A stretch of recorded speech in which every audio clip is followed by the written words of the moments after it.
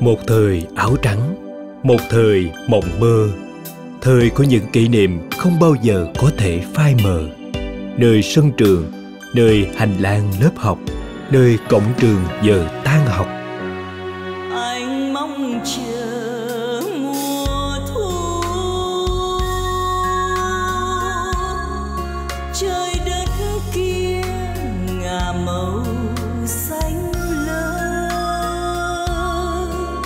Hãy cùng tình ca bất hủ trở lại với những năm tháng đẹp đẽ.